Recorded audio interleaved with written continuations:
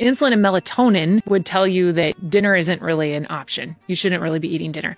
Oh, for fuck's sake. What I like is breakfast and what I call dinner. And that's how the Greeks ate too. What does that have to do with anything? When you do that, your body can process all that food. Whoa. Very convincing, but do you really have to have dinner to avoid body fat gain? A sweeping systemic review found that size of late evening meals does not impact obesity or excess weight gain.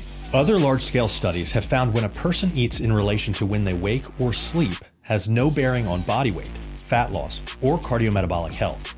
Whoa. When total daily calories are equated, there doesn't appear to be a difference in fat loss regardless of when a person eats. Wild fear mongering over alterations in hormone levels, metabolic rate, or effects on adipose gene expression simply don't matter because these minute changes make zero difference in real world outcomes. Wow. It's true though, there is something you should consider. Although it appears that eating later in the evening does not cause fat gain beyond total calorie content, there is a catch. Cutting out nighttime calories may lead to fat loss if it lowers total calories, but studies suggest many people take in nearly 50% of their daily calories at or after dinner, and one out of three people eat 15% of their total daily calories after 11 p.m.